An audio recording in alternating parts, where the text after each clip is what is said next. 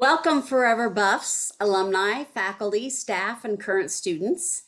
Thank you for joining us for this exciting installment of CU Boulder's Forever Buffs Spotlight Series. The Forever Buff Spotlight program highlights alumni, students, faculty, and staff that exemplify the Colorado Creed and who make a positive impact in their industry or their community. This program aims to build connections with CU Boulder and the community that we are all a part of. If you are in need of closed captioning, please click down below on the bottom right, the CC button located in the toolbar. Tonight's event is brought to you by the CU Boulder Alumni Association, CU Boulder Career Services, the HERD, which is our student alumni our Student Alumni Association, and the School of Education, Leeds School of Business, and the College of Engineering and Applied Science. As we gather, we honor and acknowledge that the University of Colorado's four campuses are on the traditional territories and ancestral homelands of the Cheyenne, Arapaho, Ute, Apache, Comanche, Kiowa, Lakota, Pueblo, and Shoshone nations. Further, we acknowledge the 48 contemporary tribal nations historically tied to the lands that comprise what is now called Colorado. Acknowledging that we live in the homelands of indigenous peoples recognizes the original stewards of these lands and their legacies. With this land acknowledgement, we celebrate the many contributions of Native peoples to the fields of medicine, mathematics, government, and military service, arts, literature, engineering, and more. We also recognize the sophisticated and intricate knowledge systems Indigenous peoples have developed in relationship to their lands. We recognize and affirm the ties these nations have to their traditional homelands and the many Indigenous people who thrive in this place alive and strong. We also acknowledge the painful history of ill treatment and forced removal that has had a profoundly negative impact on Native nations. We, we respect the many diverse Indigenous peoples still connected to this land. We honor them and we thank that, the, the Indigenous ancestrals, ancestors of this place. The University of Colorado pledges to provide educational opportunities for Native students, faculty, and staff, and advance our mission to understand the history and contemporary lives of Native peoples. Before I introduce our panelists, I would like to introduce myself. My name is Jennifer Duncan, and I am the program manager for Alumni Career Services at CU Boulder. Let's start with CU alum Toni Christiansen, who graduated in 1971 with a degree from the School of Education. Toni? Yes, uh, may I first uh, thank the sponsors and the organizers of this uh, program because I am honored to be here with such talented panelists and yourself, Jennifer, as well as others, Haley.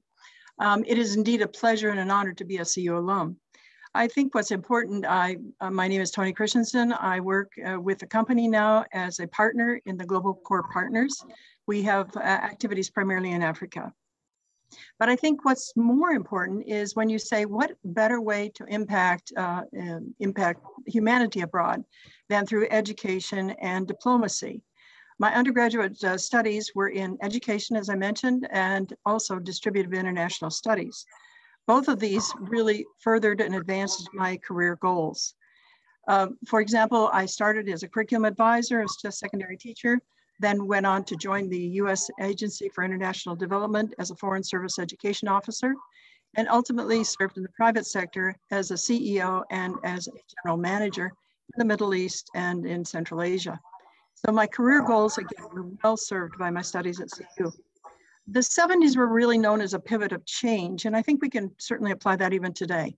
Uh, at that time, you had anti-Vietnam and anti-Vietnam sentiments on campus. You had activist groups. You had um, a lot of uh, misinformation, disinformation, uh, diverse opinions. But what really captured my attention was a detente with the Soviet Union. Uh, as a result of courses from a, a very well-known professor at Boulder, Edward Rozek, I took many Eastern European and Soviet classes. And from that, I really wanted to gain firsthand knowledge. So I studied in the Soviet Union and then learned more about the history, the culture, and the diverse opinions that were, that were being pro uh, were propagandized at that time. From there, I thought it was important to impact how teachers teach. And so I applied for a Fulbright and went to India as a Fulbright scholar, working on a curriculum that would, um, for American teachers, to present different cultural, uh, to present cultural differences and diversities uh, in the context of India. So uh, this was really the beginning of a 35 year career of learning, of working, of living and traveling in over 95 countries, uh, focusing on economic development, on private sector growth, and education and training. That's wonderful. Thank you, Toni, for giving us that background and a little bit about yourself um, and what you've experienced so far. Um, next, we're joined by Maggie Grout, graduated in 2021 with a degree in business from the Leeds School of Business. Maggie, would you like to tell us a little bit about yourself? Hello, yes, I'm the founder and CEO of Thinking Huts, which is a nonprofit that seeks to increase access to education by building 3D printed schools. Um, yes, I recently graduated, um, though my journey did start in high school. So I wouldn't say um, it's directly linked to university, but CU Boulder definitely expanded my thoughts on why that education access is so necessary. I was part of CSER and did the SRE certificate. So I would say those are what really directly impacted me um, at my time at, in the university. That's great. Wonderful. Thank you. Our third panelist is Maithreyi Gopalakrishnan, Gopalakrishnan, and she is a graduate of the class of 2016 with a degree in engineering. Maithreyi, would you like to tell us a little bit about yourself? All right, thanks so much, Jen, for the introduction. And um, thank you to all of the organizers um, and really and all of the other two panelists here and the amazing work they're doing as well. I'm excited to learn more about what you're doing. So um, a bit about me, my name is Maithreyi and I graduated in 2016 from University of Colorado Boulder. Um, I'm currently the uh, founder and CEO of a very early stage um, financial technology startup called Liquidify, um, and trying to uh, essentially make access to a very, very large um, but very um, kind of confusing to navigate um, market, which is the bond market. And it really finances um, globally um, a lot of the infrastructure um, of, of, that we use on a daily basis. But there's just not a lot of, I guess, like regular investor access to this market. So just trying to expand that. But what took me abroad initially, um, and I think what I'll refer to a lot today in, in this panel, is the first um, startup that I founded while a student at CU, um, and it was called Studio Conversions, and we were um, aiming to convert auto rickshaws in India and other countries around the world um, to be hybrid powered. Um, energy technology has always been um, a passion of mine um, and you know utilizing clean technology to really have an impact on um, humanity across the world. And so that was something that was really um, that I was really passionate about. And I think my time at CU really shaped my passion for social impact startups um, and that world and how um, fascinating it can be to kind of understand how to develop a profitable business that's also um, really, really prioritizing um, the immediate needs of people all around the world. Um, so that was really the biggest thing for me. Um, and it also just developed my time at CU developed my network tremendously. And so there's people that I worked with at Studia, um, people that I've met, you know, um, at school after I graduated that I've stayed in touch with and that have helped me tremendously through my startup journey, even um, with what I'm working on now. And so I'm greatly appreciative for um, all of the opportunities I had and people I met, um, my time there and beyond. So that's a little bit about me. Thank you so much. Uh, this is going to be exciting. I'm welcome everyone. We're thrilled to have you all here. Um, we're thrilled for our audience to be here and listening. We'd like to know a little bit more about our audience. So we're going to post our first poll question.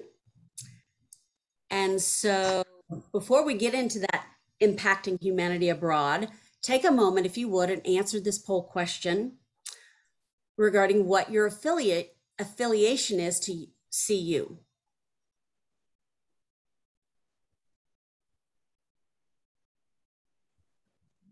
So go ahead if you would and answer. We'll give you a few few seconds. We know that we usually have alumni, many alumni, but students, faculty, staff, and and friends of CU as well. So we'd love to know um, who is joining us this evening. Okay, we're going to go go ahead and close that poll. And now the overwhelming majority is alumni. 64% are alums. We do have uh, 27% faculty staff, 9% students. So um, that's wonderful. I always think that it's great to be able to hear from our alumni to, to hear what career paths they've had and, and where those paths have led them. So let's get into a little bit more of that. I need to find my questions again. Here we go. Oh no, we have a couple more polls actually. Sorry. Um, next poll. Do you work in the private sector, public sector with a nonprofit or an NGO or with an international organization? Please take a few seconds to answer this question.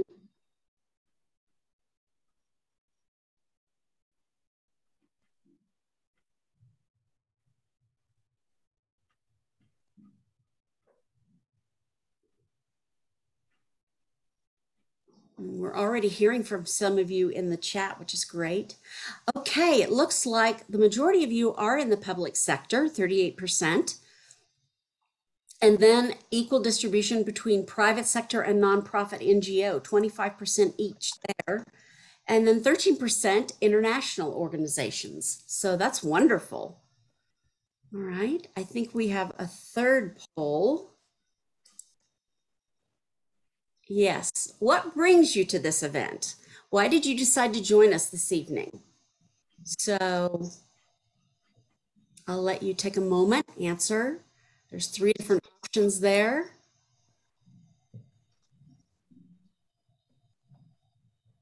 If for some reason it's other for you, you can let us know that in the chat.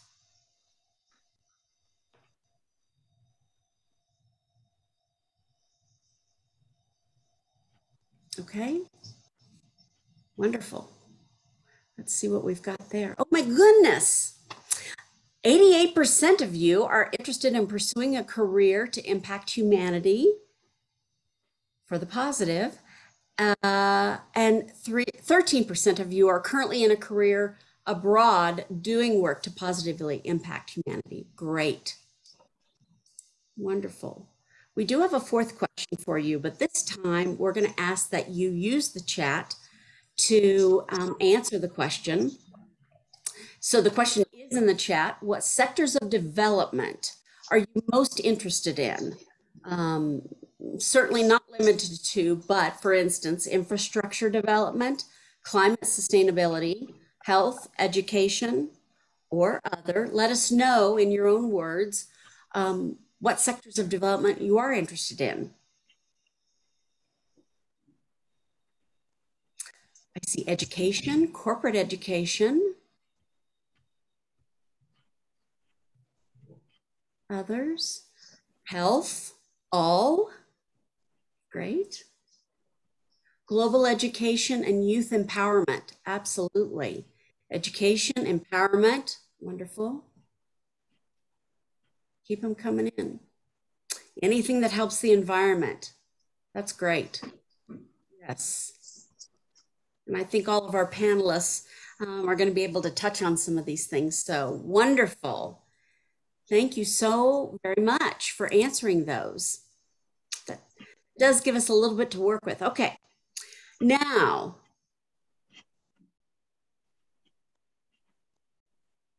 I, I, hang on just one moment. Okay, so we're going to start with our first question. We're, I'm going to ask about four questions of the panel, and then we'll take questions from the audience. Okay.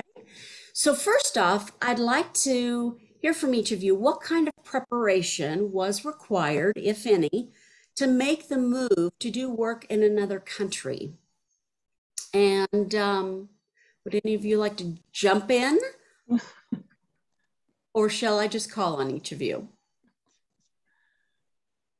Toni, let's start with oh, Okay, good. Generally, to move abroad, you need to have a, a really deep understanding of the culture, the language, the, uh, the context in which you're moving to, and the specific location, because countries can be very different from one area to another, for example, in India. And then there needs to be a willingness really to learn, to have expectations challenged, and at the same time be humble in terms of how you uh, receive the, the, the uh, feedback and the misinformation if you have it. Uh, for example, if you're applying for the Foreign Service, when I was applying at least, you had to have at least a level language, uh, language capability of a level below an interpreter. You had to have area studies at the Diplomatic Institute. And then you were also an intern for a year or less in Washington and then at the post where you were going. So this was, was very specific requirements. At the post then you also have additional requirements in terms of post risks, threats, security, and things like that. Uh, for the private sector, it's a bit different. When you're moving abroad, your preparation really starts at the company headquarters. And you need a scope of work, you need to know what position you have in the company. And then from there, you can determine what research you need to become informed and be able to be value added to the company. Because a company really wants to hire people that are going to be able to to increase the business to provide profit margins and things of that nature. So it's not it's not uh, foreign service is different. You have a budget in the foreign service. The private sector you're looking for a budget or you're looking mm. for the bottom line. So it's, it's really different. So you need to know how to do business planning, how to do budgeting, how to evaluate, and how to um, uh, look for opportunities in the business world. Um, having a business solution with trusted implementing project or strategic partners that are um, that can help you provide a winning proposal that with competitive pricing is critical too in the private sector. So most recently I worked on a contract uh, to train women entrepreneurs. It required a knowledge of the audience. I had to know what, what level of education they had, what language they spoke. And also I had to learn the technical skills required so that I could sequence uh, the different curriculum areas for them to learn, um, simplify concepts and make it, uh, make it interesting, if you will. Um, the challenge really was writing a curriculum that would be culturally acceptable and at the same time you would be able to translate it into other languages to have the same meaning that, that I was trying to, to uh, write in English. So these were, um, were real challenges. Secondly, there was a, a, prime vendor for food contract. And this was in the private sector to supply food to um, troops in Iraq, uh, Afghanistan, sorry, in Iraq, uh, Kuwait, and Jordan. And you need to know the dietary requirements, you need to know the supply chain, the transportation, all of the budgeting, um, and the multimodal ways of getting this to your client. So you have to have a very clean sense of your source, your supplies, the quality, the quantity, and whether or not it can be delivered on time. So public and private sector are quite different in those aspects, but you have to be prepared to join either one. That's great. Thank you very much. Yeah, that's wonderful. Okay, Maithreyi, we're going to go with you next. Tell us a little bit from your perspective. Yeah. Um, and Toni, I'm learning so much from you as well. So this is wonderful. um, uh, yeah, for for myself, it was it was rather different because you know most of my family actually lives in India, and I go back to visit quite often, and so I I kind of grew up spending a lot of my summers there, and so I was quite familiar in some ways with the culture. Um, but you know when you're going there to visit family um, it's a very different context um, in which you're approaching you know working with people abroad um, versus when you're actually out kind of in the field um, speaking with with the customers that you're serving or the people that you're serving.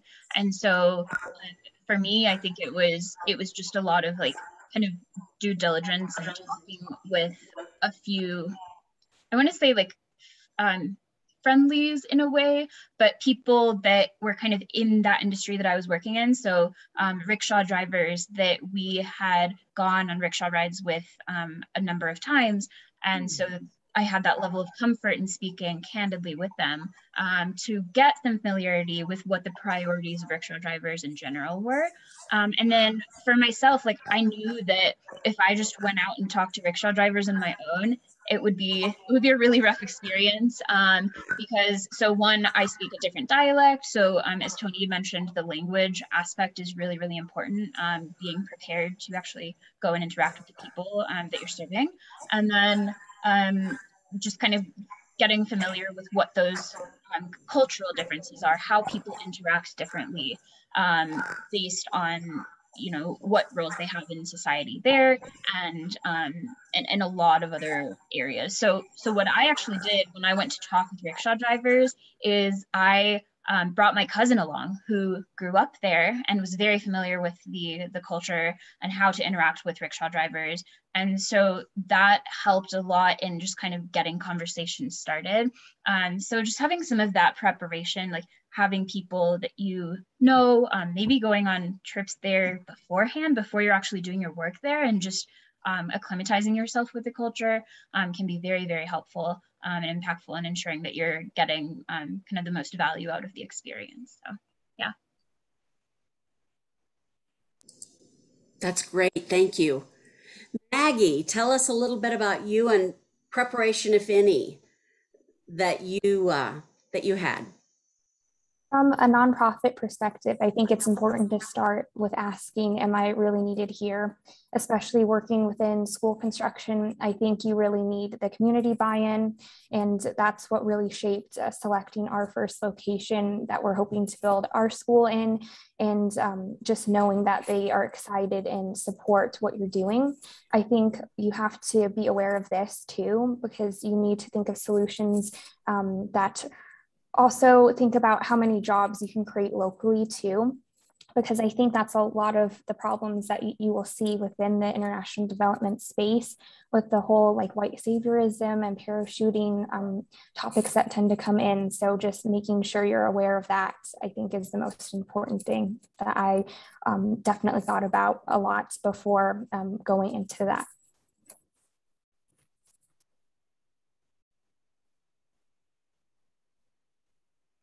Can you speak a little more, just a little bit more to that, Maggie, in terms of preparation with with with those last two things you mentioned, or the last thing that you mentioned? Of course. So, um, how I addressed that was forming local partners. So, we have a university partner um, where we are getting all of the insights into the community and making sure that this is something that they would accept and also that they would think is a long-term solution because that was something I am very passionate about creating sustainable uh, solutions both on the environment side but also it can live on like without additional like external aid. You want them to be able to look after it and feel ownership over um, something especially if you're working with school construction That's great. Yes, absolutely. Okay, um, second question. What was it like to adjust once you arrived or once you arrived at your destination, um, even if you were with family? Um, tell us a little bit about that. What and what challenges did you face? So I'm going to go back to Toni again. Oh, thank you. um, well, I, the, as you mentioned, there are two types of adjustment. One is personal and one is professional. So resettling a family overseas requires lots of different, uh, uh, you know, engagements, challenges, and trying to find the right schools, spousal employment, uh, health, um, just all shops, where to go. Uh, it, it requires a lot, but the personal and professional can sometimes blend together. And then you really need to manage expectations and adjustments because um, they both are intertwined. On the professional side, in countries um, where you have experience, there's a, a, lesser learning curve, but you still may have staff, you may have different uh, counterparts and also different tasks to perform there. So you have to be equally as, as astute in terms of learning how to adjust to those. uh, getting to know more about your points, uh, getting to know more about a subject in terms of points of view, in terms of meeting stakeholders and community development people, and then being able to synthesize that information and put it into a project that will actually be, be viable is what's really important. Uh, for example, youth employment, someone mentioned that earlier, is one of the key topics of today. And ensuring a recommendation and a negotiating point in a foreign country um, in order to get a position that would be accepted by your counterparts is really critical. And in some cases, in one in particular, um, it was a, a vocational technical project that really wasn't going to be successful from the beginning because it was based on uh, old government uh, uh, voc tech schools that really didn't have the tools, the equipment, or the technologies to, to prepare youth for modern uh, employment. And so the, the challenge was to get them either involved in the project or to um, sidetrack them and maybe look for other alternatives. In order to be able to be successful when you're dealing with ministries and others, you look for options where they can be actually folded into the project and become more uh, viable in terms of their options and the way that they approach in, in um, employment, especially through more direct contact with the private sector. Because the private sector is where the demand is. So you want to really gear your training and your, uh, your um, your course offerings to what the private sector needs so that then you can uh, get them gainfully employed.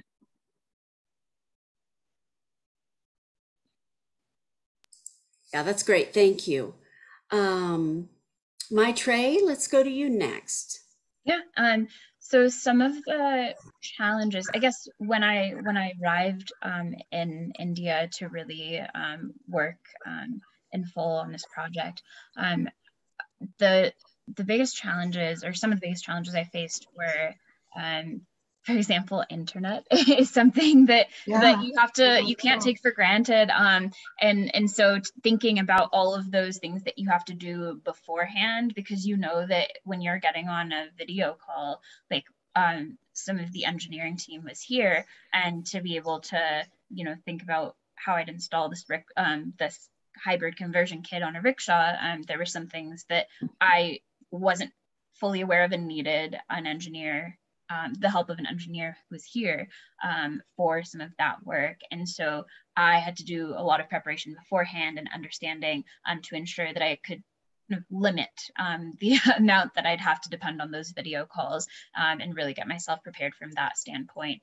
And then challenges, um, I think the biggest challenge for me, or the biggest, I guess, realization for me, was the second that I started talking to rickshaw drivers, um, I very, very quickly realized that the priorities that I had formed in my mind that I assumed would be their priorities, like having just kind of understood from an outsider standpoint like what their challenges were um, were very different than the way that they thought about things. So like i i thought you know they would be excited to talk about an opportunity that would help them to save a lot of um, you know fuel um, costs in the long term um, i figured that you know the environment and improving the pollution problem there wasn't necessarily one of their top concerns, but um, that that it would be something on their mind possibly. And then when I got there and I started talking to rickshaw drivers, I realized, wow, just me going and talking to them, um, it felt like I was actually taking time away from them to go and find rides, right, and make money because for a lot of rickshaw drivers in India, it's you know they're day their day-to-day job is what is providing food for their family or is giving them the money to provide for their families.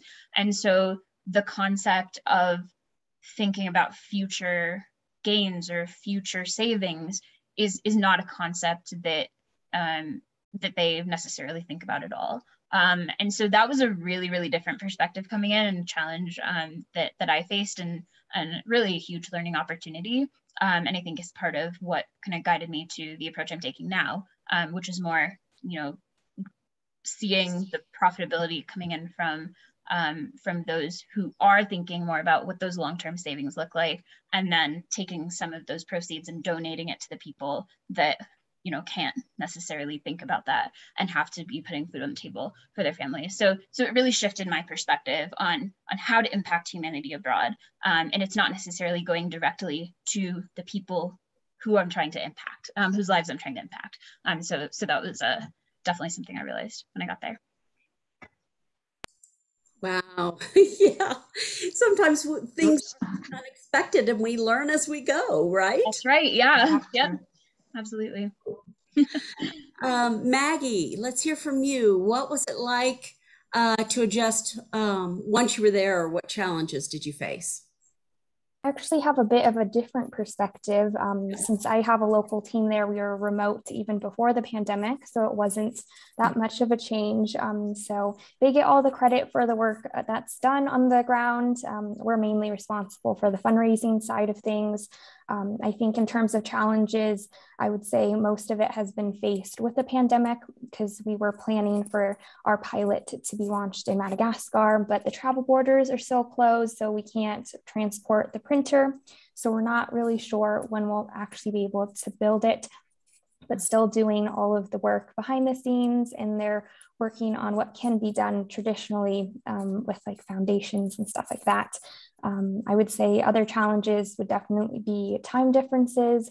Um, Madagascar, a very big time block, got to get up super early or be up really late trying to figure that out. And then going off of the internet point as well, um, a lot of people just don't have that infrastructure in place there.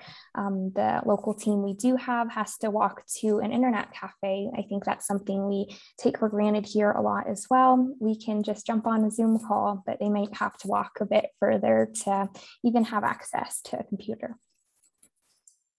Yeah, you're right. Those those are some things we do take for granted. And so yeah.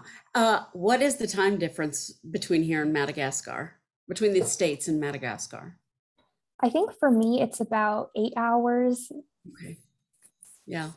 So, yeah. that does make a difference in our work for sure. Okay. Okay, let's go to the next question. The question is What steps did you take to make sure you were coming into the communities responsibly and respectfully? And I think some of you have touched on that a bit, but let's dive in a little deeper there. So, Toni, I'm going to I'm ready. I'm ready. All right. Uh, one of the one of the key elements is to engage and involve the local communities uh, by getting the local communities uh, involved, uh, interested in the project and actually participating in the project and the stakeholders as well. You can garner their support and you can also have them as advocates for the project.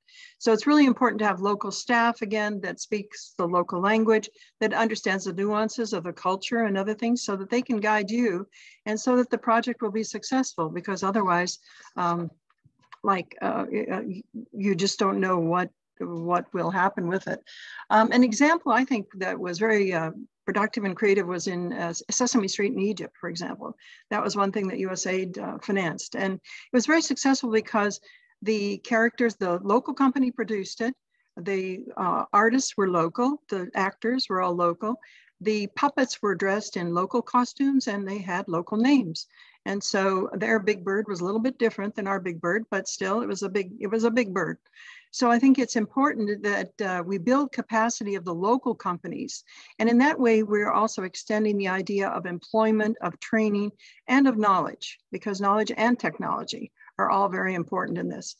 Um, I found as a foreigner, though, it was important for me to um, have interpersonal skills, technical and management skills that were sensitive to the location and that really had a respect for local customs and norms. I think if you show that uh, um, humble attitude and you approach projects and, and your counterparts as equals, and uh, you design projects that will then, uh, you are able to design projects that are much more acceptable and that will be uh, something that they are looking forward to participating in. Um, an example again was recently I was a chaperone for a group of eight women going to India to study in Jaipur at the Arch uh, Institute of Design and Business. Normally these women have to have a chaperone to travel. But I think being grandma, um, I was able to take the ladies by myself to India along with a learning specialist And again, it's an example of trust and confidence. And I think you need to build that trust and confidence with the communities, with the stakeholders, and work with them to accomplish the project or, or company objectives.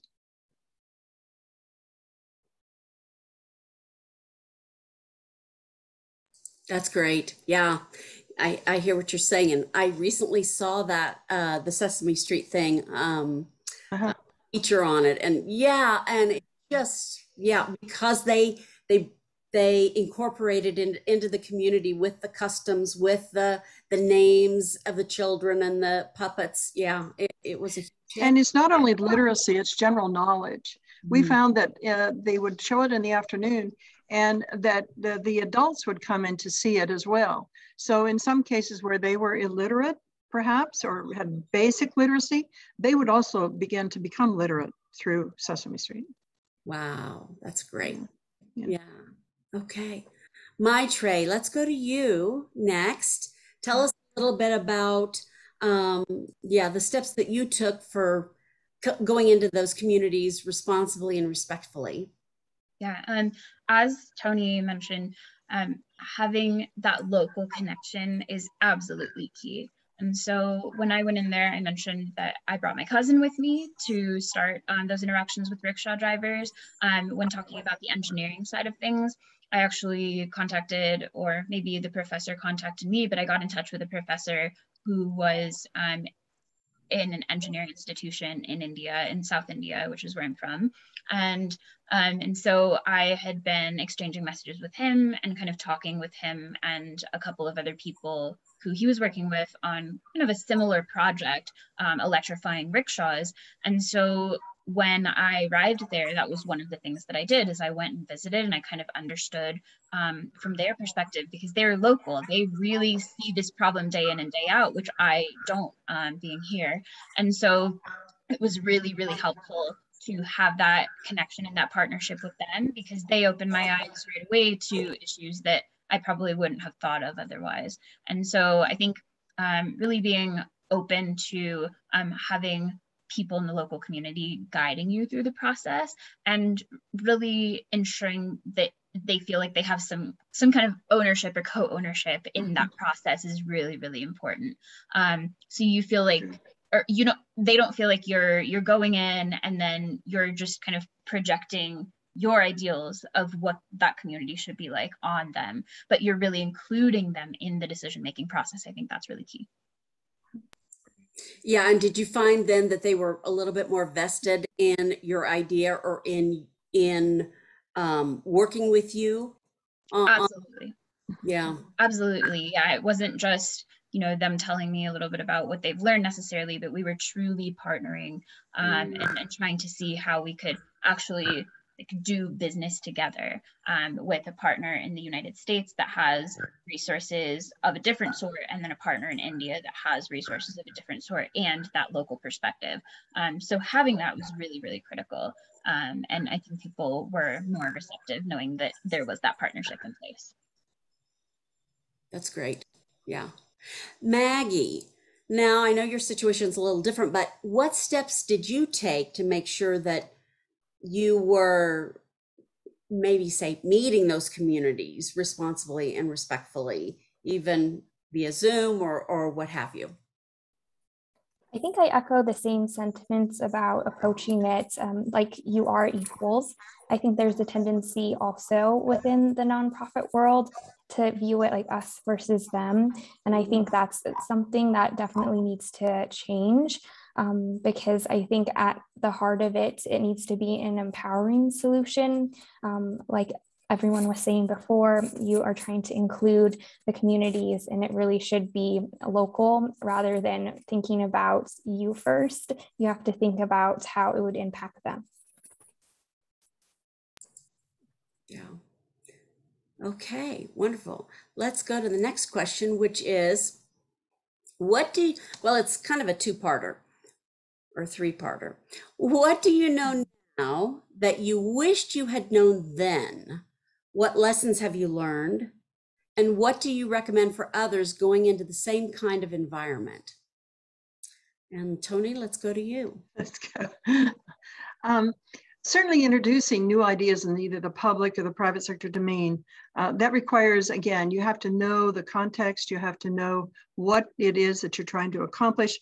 Um, really, you need to know too the current events, the risks, the strategies, and then the tactics. How are you going to accomplish this? Uh, not fully understanding management styles, not fully understanding the social fabric of a country, and really not knowing uh, local languages, as we mentioned previously, are all impediments and can, uh, can be detractors in your ability to get something done. Uh, one thing you have to do is be prepared for setbacks. There are going to be uh, many things that, that are not acceptable. So then you have to be flexible and focus on how you can then come up with a business solution or a project solution that will meet the requirements that you have and at the same time uh, uh, focus on the communities and the stakeholders and the participants and what they need. And then find a couple more points, um, just ensuring compli compliance and accountability. At the local level, uh, the legal uh, requirements uh, for local, for regional or country, and especially if you're going to be importing or exporting for the United States, what are those kinds of uh, compliance requirements? So those are things that you have to take on a broader scale. Uh, do you need to inform someone? Uh, what kind of phytosanitary requirements are there for products, even clothes, if you will? And then in designing a, a project, always consider the demand side, not the supply side. Look for, for example, in training unemployed youth, as I mentioned previously, what are the areas where there is employment? How do you train them to the level of employment that's required? And then how do you get them the job? And that requires the interface between private sector, public sector, policy, as well as then um, the ability to, to have these people gainfully employed.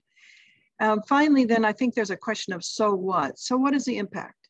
And that requires you to look at the output, not the input for the project. What is, who are the beneficiaries? How many people will be included? What is the economic benefit in terms of economic development or in, or um, country development. Um, so you need to look at what is the benefit for the overall population, the economy, and perhaps even the country if it's a large scale project that's macroeconomic. That's great, thank you. Maithreyi, let's go to you. Yeah, um, so I think um, the, the biggest kind of lessons that I learned um, that I think have applied to many other areas um, of my career um, after studio conversions and with what I'm doing now. Um, so two things, um, unique financing methods and, um, and then knowing who you're serving and who your customer is before you do anything else, like absolutely anything else. Um, so the mistake that I had made, um, candidly, was um, kind of coming up with with this idea, got getting really excited and getting a lot of reinforcement here um, in the United States about um, how much of an impact this idea can make, and not really realizing the intricacies of what we could face um, in India. And so it was a little bit later on that I actually like truly, truly realized what the needs of um, rickshaw drivers were um, and the needs of the people that I was trying to help. And so that was a, a major realization for me um, where I, I wish that I had, you know, right as soon as I had come up with this idea, flown straight to India and talked to every single rickshaw driver that I could find over, you know, the course of however long I was there, um, to really, really hone in on on what their needs were and what you know challenges they faced um, and how to kind of work around that. So, so that's kind of the the customer or I guess like user mm. experience kind of aspect of things um, that I've really taken into account with with my current startup where the first thing I did was put out a survey to a ton of people and talk to a ton of people before I even started developing the product. Um, so that was one big um, thing. And then the other thing was um, financing. As I mentioned, um, people who are, I mean, a lot of the, the rickshaw drivers I spoke with, um, they're they, they didn't really have this perspective long-term thinking and investing for something in the future. Um, but there are you know other people around that that do have that sort of thinking. And so um, who is the right person to go to for the financing? And how can you think about creatively financing something that is still helping um, the people that that may not be able to pay directly for what you're offering. Um, so there's a lot of uh, really, really unique ways that can be done. Um, one that I wish that I had pursued from the very beginning um, was speaking with kind of local governments and seeing what kind of subsidy options could be available on the ground um, to help to finance these kits because it is in the best interest of cities, states, um, and all of India to reduce um, or to, to improve the pollution problem there because it's it's really severe and significant. Um, and so they they really had a vested interest in their own way um, to to support um, an initiative like what I had. Um, but that was something that we kind of thought about later, a different financing method. and so in hindsight, you know, I would have thought of that ahead of time or or started um, kind of pursuing that angle ahead of time. And um, that's definitely what i'm what i'm doing now um, because it, it really makes a, a big difference in how much impact you can have. Yeah that makes a lot of sense. Maggie let's go to you. Lessons learned. What do you know now that you wish you'd known then? A lot of things. Um, I cannot fit it all in there, but I would say the main one would be ask for help earlier on.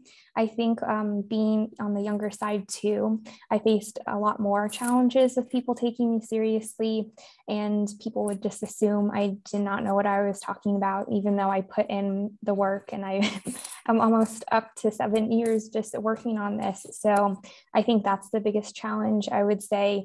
Um, finding mentors earlier on who can help you get through the setbacks because um, yeah like Toni was saying you're gonna meet a lot of them and it's gonna be hard to like bounce back in the beginning but it does get easier over time. And i would probably also tell myself that governments are very bureaucratic. It's not gonna move as fast as you want so you gotta be patient. Yeah. That's great. Thank you Okay, now I'd like us to move to the Q&A portion of our evening, and we've got some time to take questions. I know that uh, I think there maybe have been some coming in already, so let's do a quick check and um, see what we've got. Okay. First question, and this is for really any of you. Um, do you or did you travel back and forth a lot? Was there travel, a lot of travel involved, or has there been a lot of travel involved? Any of you want to take that question? I will. Sure. Yes, um, eh, when you're when you're posted overseas, there's not as much travel. When you're in Washington, there's a lot of travel in the Foreign Service. But then if you're working under contract, sometimes your contracts require you to work uh, partially in the states and then partially in the field, and so that way you you do have a lot of travel.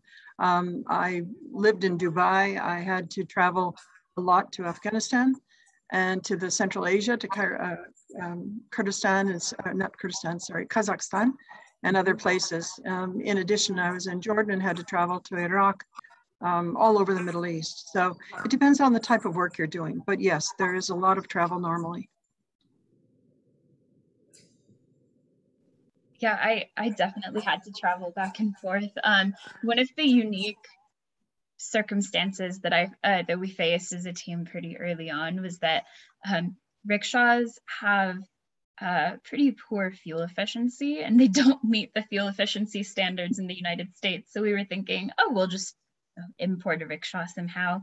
Um, we somehow managed to get our hands on a rickshaw, one of the last rickshaws in the United States. I don't know how we did that, um, but it was it was just a very fortunate um, circumstance. So we were able to do quite a bit of development here, um, but to really actually see the typical rickshaw that's used there, which is um, with a two-stroke engine, um, we did have to go to India and to develop or to actually see the rickshaws there. Um, so that was that was a really um, kind of necessary reason, I guess, that we had to go back and forth quite a bit.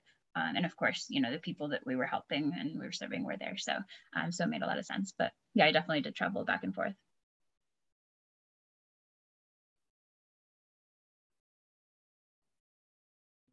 I know that you, um, things have kind of, of, um, the pandemic has, has put a kink in some things, but previously, um, can you talk, speak to the travel a little bit? For me, I did not experience a lot of travel. I think since it was still remote at that time, and I, I trust my team to do the work on the ground, Mhm. that I don't think I really encountered that very much. Um, but perhaps in the future I will if we do expand to other countries. I'm not quite sure. Um, but we would probably try to replicate the model to then also have a local team there. That's great. Yeah. Okay. If you could give one piece of advice to, to a student that is interested in this sort of work, what would it be? And any of you could jump in first. I would say uh, volunteer for people or organizations that you would be interested in, because that's the only way you would really know if that's the right fit for you. Because maybe you don't want to do a nonprofit, but you're you're really pulled to the cause. So you find out what you're interested in working in, but then you maybe work in a, a different industry, but you're still getting that experience. And um, I think a lot of times you could also help those organizations too by giving them a new perspective.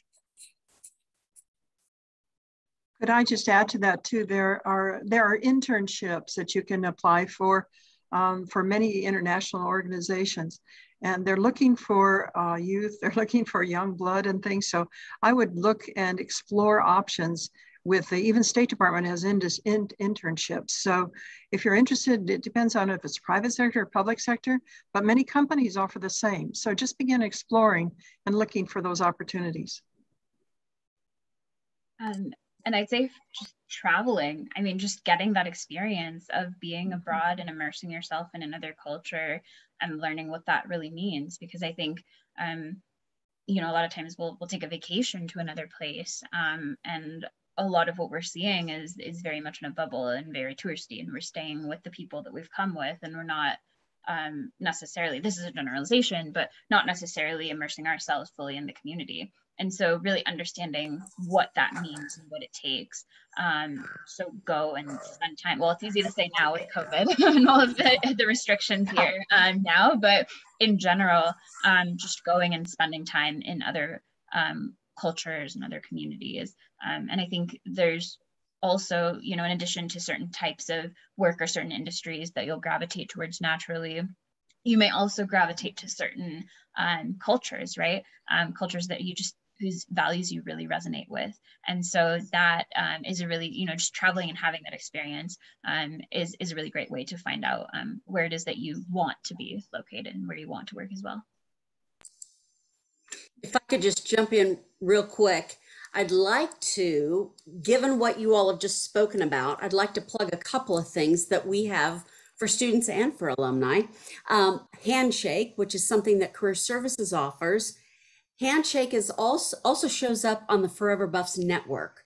Both of those two resources are going to be excellent in terms of being able to find a mentor, whether it's just a, a single conversation or long-term mentoring, or somebody who can open doors for you. That's the Forever that's foreverbuffsnetwork.com and students, alumni, um, faculty, staff can join that. Um, parents of CU, employers who recruit at CU. Um, and then also Handshake also has within the system, not only jobs and internship postings and jobs for getting ready to graduate, graduating students, as well as new grads, middle, uh, mid, um, mid-range and senior level positions, entry level, mid, senior level positions on there. And there are resources on that, one of which is called Going Global. Global, going, not going global, going global, which is a great resource. And I could speak more on that, but I won't because I don't have time. So um, another question came in real quick, Maithreyi. Uh, this came in from Kurt. Did you ever connect with the people at Baj? It's either Baja or Bajaj rickshaws. No, we we didn't. Um, that was something a connection we were trying to establish, but Bajaj is probably the largest auto rickshaw manufacturer. Um, and so it was really hard to figure out. And, you know, we were college students. We had no idea how to navigate a corporate environment. And so um, we we didn't make connections there. Um, we did make connections with people at Tata, um, but it wasn't something that we necessarily, I guess, utilized. Um, I think that the resource we utilized most was honestly working with that university um, that we partnered with um, to really get that on the ground understanding of, of how to go about doing what we were doing. Could I just add one more one more um, point? Uh, don't forget the Peace Corps because the Peace Corps offers tremendous opportunities to not only know another country, language, and experience a whole. Uh, just they used to say the best job you'll ever have, um, but I think it's very important for whatever career goal you have as as well. So that's a wonderful opportunity. Thanks, Gail. Absolutely. Yes, thank you so much for mentioning that. Peace Corps, study abroad. I've had many students and alumni tell me that that was a real turning point for them, a real eye opener for them, and uh, pivotal in their career paths. So um, I think we might have time for one more question. Um, was there a specific moment when you decided that this was the work you had to do, a light bulb mo- moment or an aha moment, so to speak? And I'm going to let you jump in when you're ready. None of you will know the book, but it was called The Ugly American. And I decided that I wasn't going to be an ugly American. So I read the book long time ago and decided then I was going to go out in the world and try to impact humanity. Um, so this is not related to the startup that I, I founded, but when I was in high school, um, you know, on one of my summer trips to India, um, I had the opportunity to work with my late grandmother who um, founded a school for people um, with hearing impairment, for, ch for children with hearing impairment um, that didn't have the financial resources to necessarily afford traditional education given, given their circumstances. And so I had the opportunity to teach them dance. I've been dancing since I was three. I'm very passionate about the arts as well. And just I don't know, seeing the smiles on children's faces and just the pure joy um, of of something as simple as dance, just getting them so excited, and it just it made me honestly so happy. Um, it sounds a little cheesy, but um, that sort of work, um, that volunteer work, um, really drove me towards a career where I was impacting the people that that really appreciated those those little things um, that really are what you end up kind of focusing on and, and remembering um, in life, I feel like. Um, those are kind of the moments. And so um, I, I, really wanted to focus on, on helping those individuals. So. That's great. Maggie. I think I knew from a young age that I wanted to find a way to increase access to education for others and I knew that was the purpose for my life. And I think this is largely shaped by being adopted from China and coming from a rural village and knowing how my life could have turned out a whole lot differently and the people we seek to serve also have similar backgrounds, except I was able to achieve more opportunities and having access to education, whereas um, they don't because there is no school or they're, they have to walk multiple miles to even get to the nearest one. And that's something that I took very seriously earlier on. And that's why I think it's important to support younger people too to create um, solutions for the world because I think that is the only way. And I think also there are just more limitations too because there are more people saying no than encouraging you to go for it. Um, but yeah, I think that's probably what shaped me to do this work.